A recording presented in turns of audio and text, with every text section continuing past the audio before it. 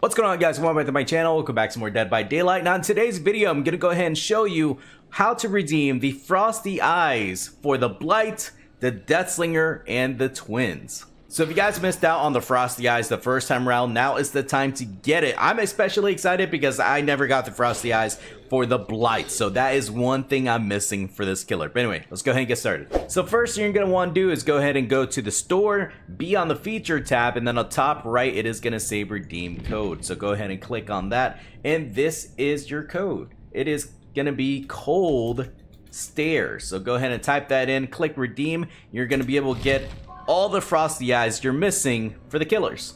So as you guys saw, only one icon popped up for me because that's the only frosty eyes that, that I'm missing for the Blight. I already have the one for the Twins. I already have the one for the Deathslinger. But if you guys are missing all three, it should pop up, all three icons. But anyway, let's go ahead and check it out in customization. Let's go to the head, and there it is, Frosty Eyes. Let's go ahead and read the description. The cold eyes of a killer who wants warm blood. Have a fantastic holiday season and a bloody good new year, the Dead by Daylight team. So we're going to go ahead and click on that. And of course, you can't even see that well just because it is kind of hiding under the hood. But anyway, there it is. It's kind of glowing. I'm sure you'll be able to see it a lot clearer on darker maps. But yeah, guys, it's gonna do for me. Thanks so much for watching. Let me know down in the comments if you're excited that Behavior is bringing back the Frosty Eyes for everyone to enjoy in the holiday season. But that's gonna for me. Thanks so much for watching. Please like, subscribe. Definitely does help a lot. Follow me on Twitch if you want to see any DBD action live. I usually stream Dead by Daylight every single night. So come out. We'll have some fun. I'll see you guys next video maker. Right?